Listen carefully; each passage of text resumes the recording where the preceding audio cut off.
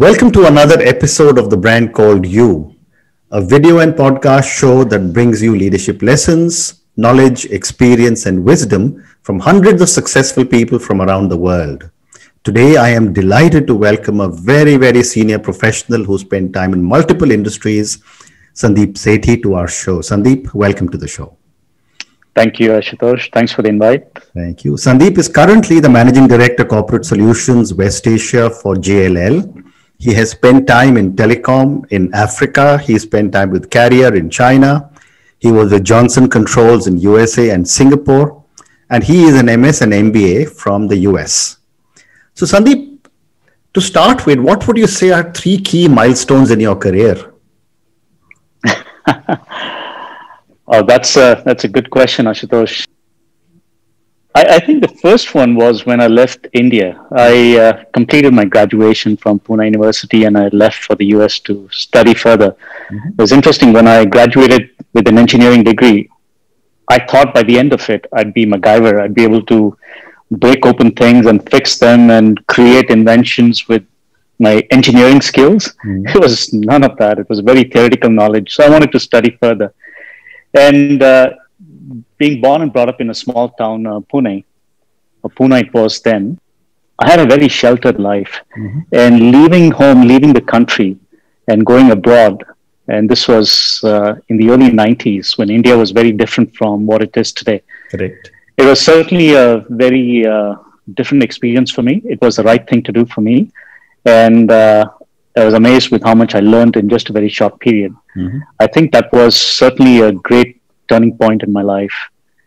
And uh, as I went through the journey of life, I realized uh, uh, there was much more to it than what I was exposed to. So I uh, I found myself becoming a very open personality.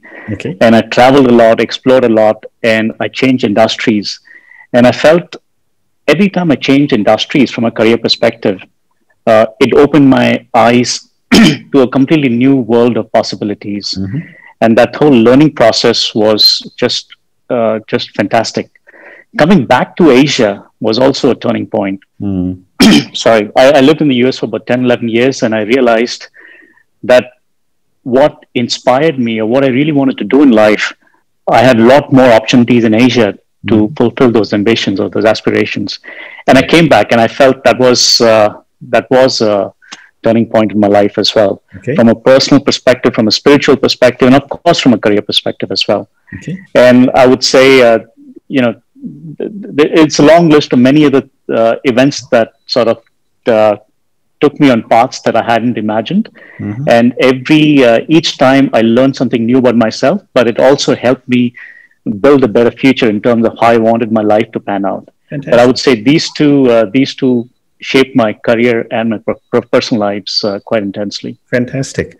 So before I start asking some questions on JLL, tell me, you know, you're one of the few people I've seen who's moved across multiple industries. You know, from telecom to uh, air, air, conditioning and equipment there to Carrier to Johnson Controls. You've lived across multiple countries. What was your experience in shortening your learning curve each time? And now, of course, real estate. Yeah, you know, I didn't want to be a man of one season. So mm. I very consciously made a decision to change my uh, industries. Mm. And I always looked for a few things before I made these changes. Mm so I wanted to be part of an industry uh, that was trying to solve real world challenges. I wanted to be part of an industry that had the opportunity to make a social impact. Mm-hmm. I wanted to be part of an industry that was a growth industry. Mm-hmm. So when I moved to, so for example, I started my career with uh, smart building or, or, building automation systems mm-hmm. industry when I worked for Johnson Controls. I moved to the the the food refrigeration industry. Then I moved to telecom infrastructure, and then now real estate. Mm-hmm. When I joined Carrier uh, in the food refrigeration business, I was inspired by the opportunity to uh, address the cold chain opportunity that existed in India, Africa, and other emerging markets. Sure. Uh, when I joined the telecom infrastructure, again, it was the opportunity to uh, connect millions of people, and that too uh, in emerging markets outside mm-hmm. of India. I sort of went through a process each time I uh, jump to a different industry. Mm. Before I got into it, I read a lot about the industry. Okay. I spoke to a lot of people. I tried to uh, understand what were the critical insights of the industry. I tried to understand what could be the two, three levers that one could engage in the industry to really move the needle.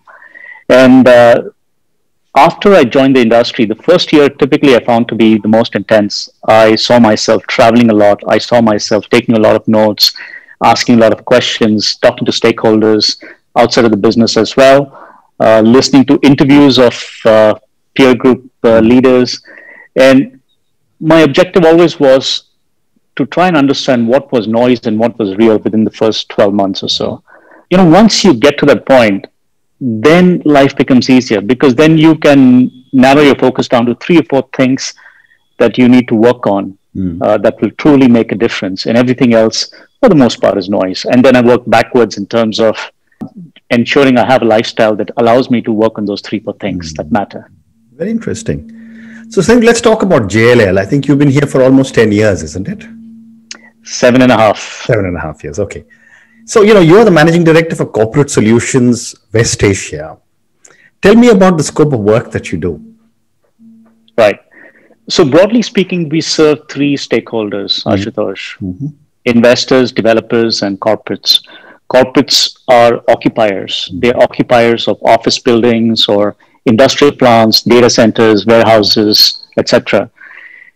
And um, a, an occupier would have requirements uh, related to real estate during the entire life cycle of the real estate mm-hmm. asset.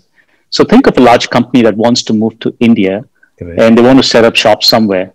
So they would engage a professional organization like ours mm-hmm. uh, to help them understand what would be a good location. So we help them as a strategic consultant at that stage. Mm-hmm. We could help get them land or we could help get them space that we would then develop for them. Okay. Uh, we have a construction management business that would build the space for them mm-hmm. in terms of the base build or the fit outs for the interiors. Mm-hmm.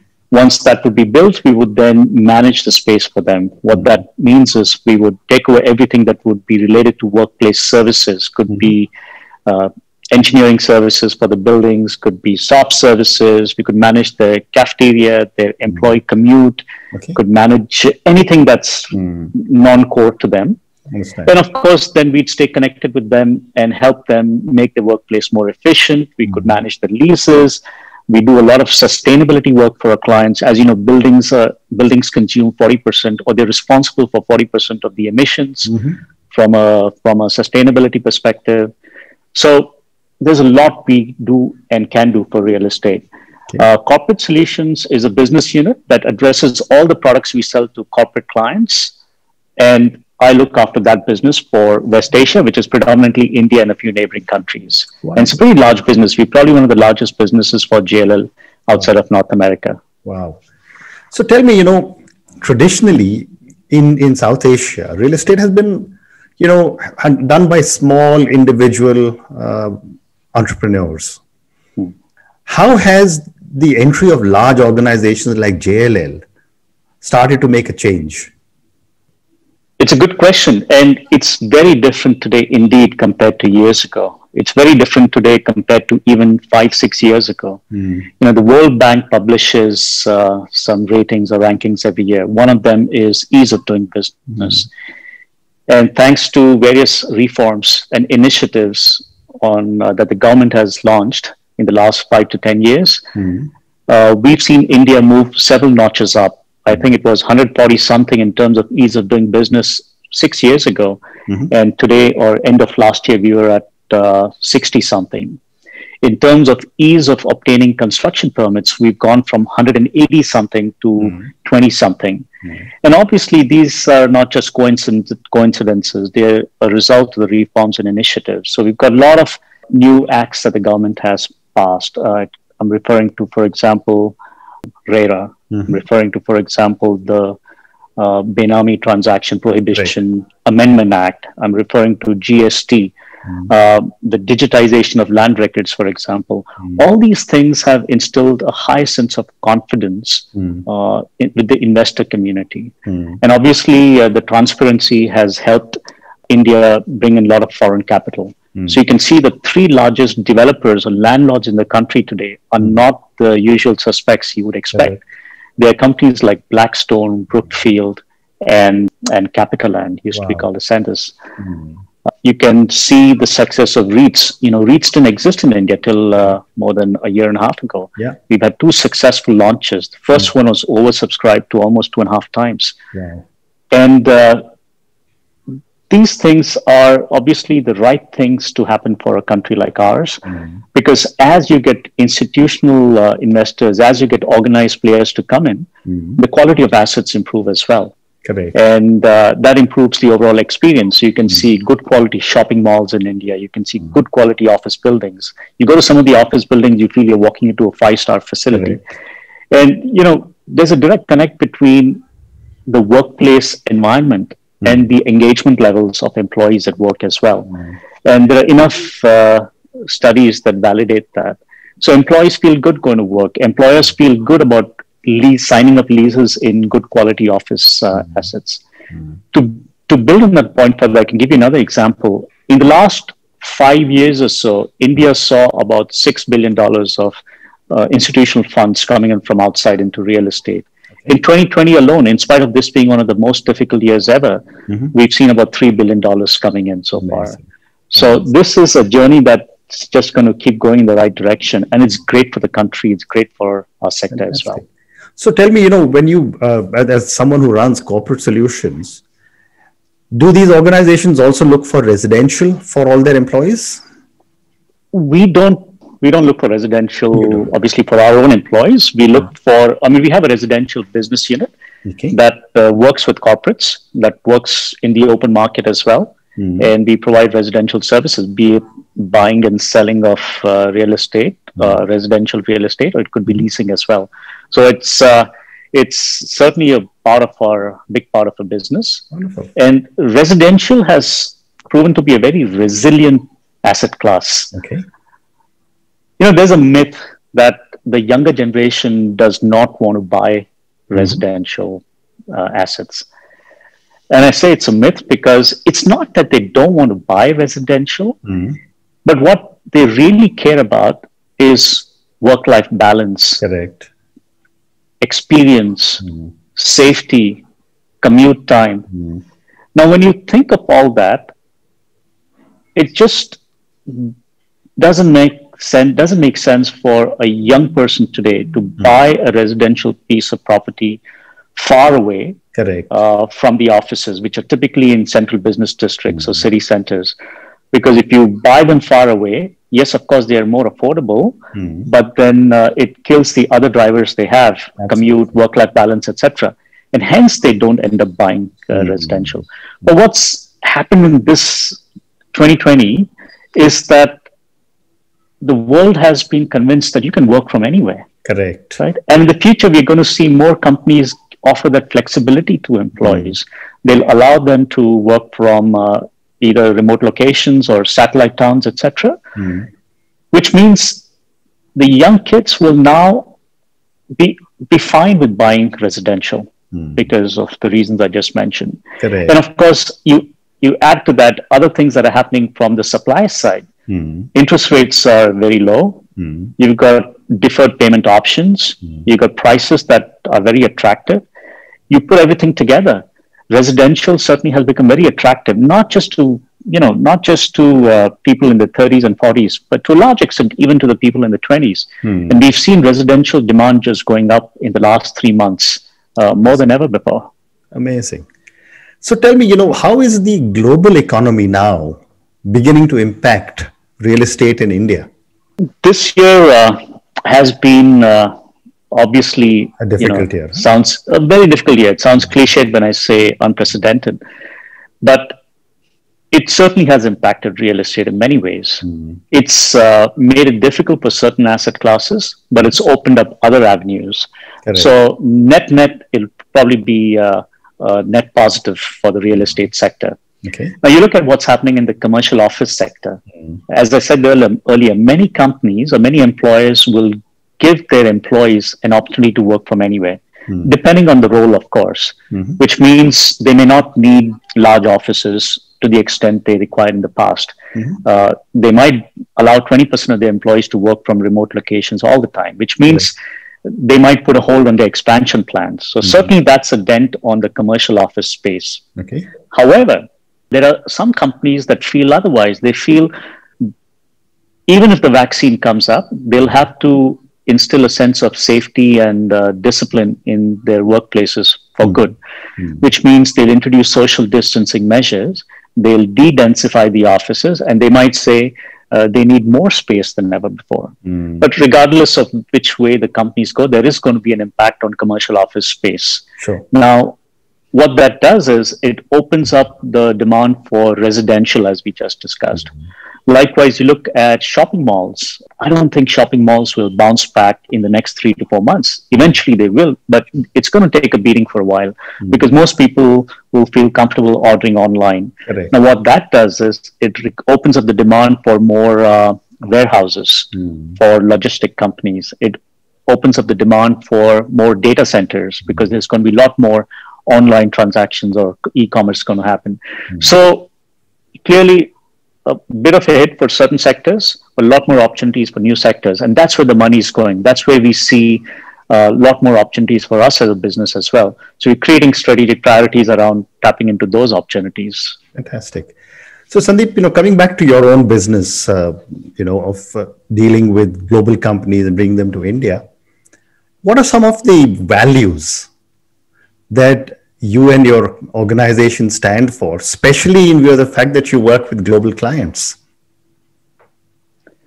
Sure, um, Ashutosh, it's a great question. And values uh, are obviously what many of our clients look for when mm they sign up with uh, companies like us. Uh, for the right reasons. Uh, you know, JLL, for example, we're driven by three core values around teamwork, ethics, and excellence. Correct. And you know, it's important that every person in the corporate world, or forget corporate world, every person, regardless of where, mm. uh, should be influenced by core values. Okay.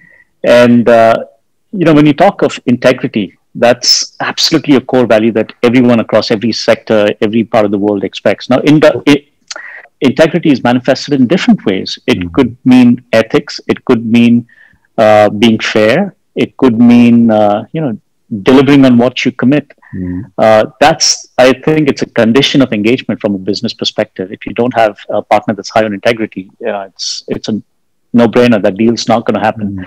Mm. So that is absolutely very important in the real estate world as well. Right. And that goes back to the question you asked earlier. You know, because of everything that's happened in the country, it's it's it's easy to find partners mm. in real estate uh, that will deliver on their commitments uh, today than, say, five to seven years ago. Mm. The other core value that's turning out to be very important, uh, not just for business stakeholders, but also for employees as they look for employers to work with, is is this whole thing around finding a sense of purpose. Correct.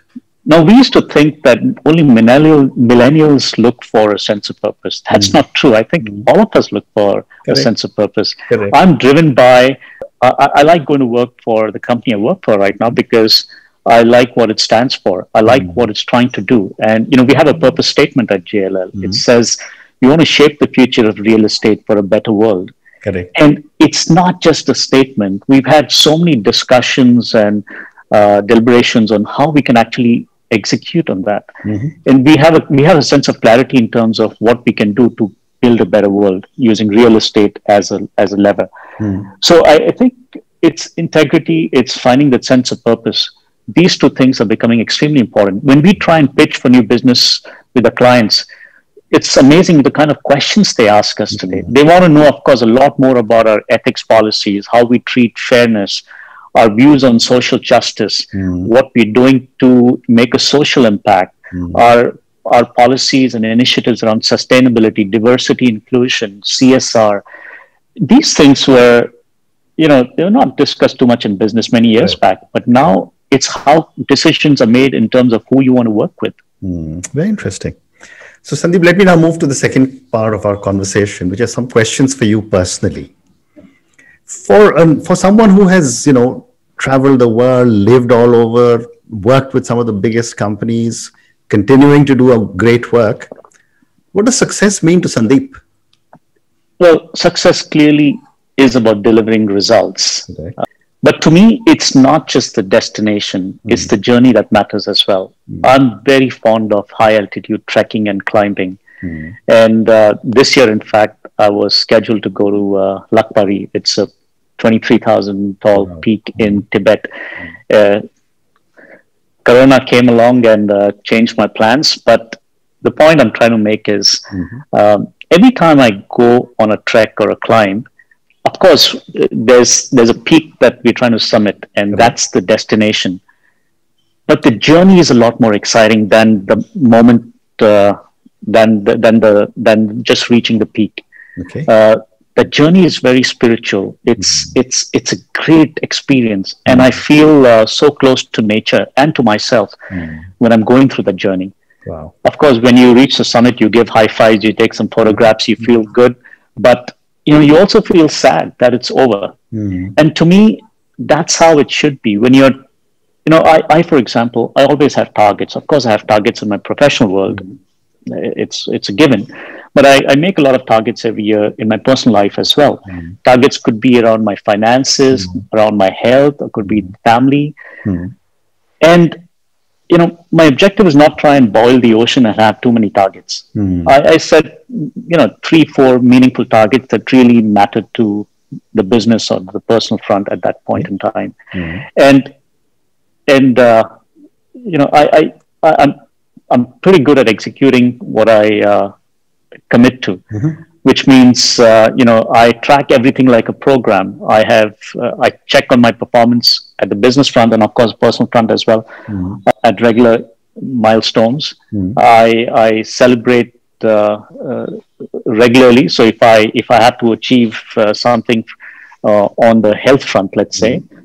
and I keep doing monthly checks and if i'm going the right direction i, I feel good about it i mm-hmm. uh, i celebrate with the family Mm. Uh, but ultimately, you know, I feel if you enjoy the journey, mm. then even if, God forbid, you don't make it to the destination, mm. at least you don't have regrets.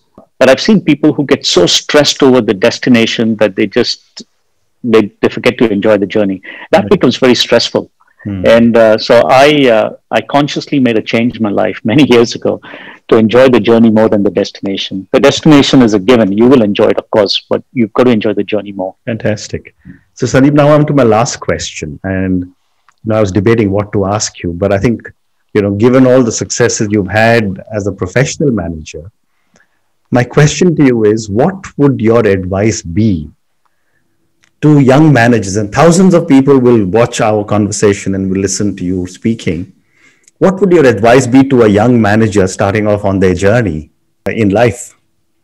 I would say, Ashutosh, in the new world, learning is going to be very, very important. Okay. And the more you learn, the more you realize there's so much more to learn. So you just can't stop learning.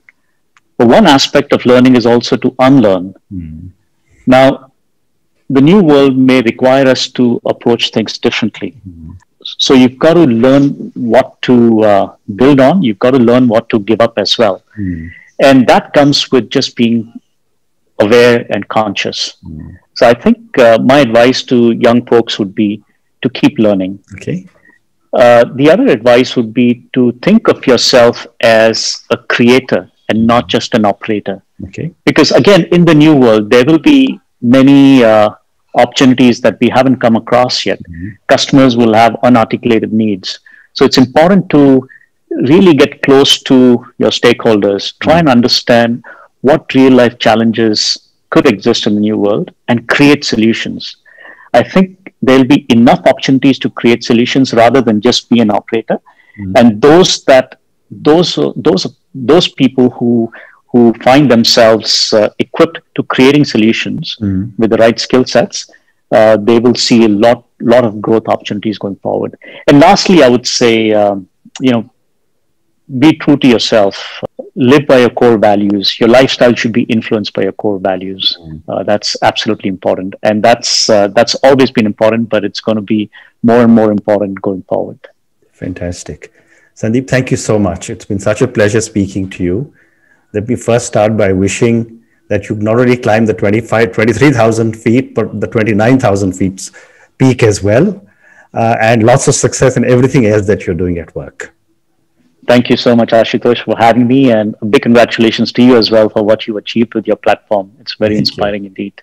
Thank you so much.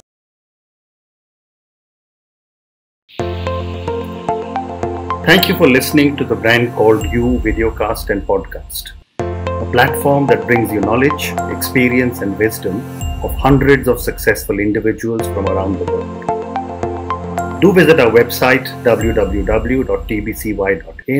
to watch and listen to the stories of many more individuals.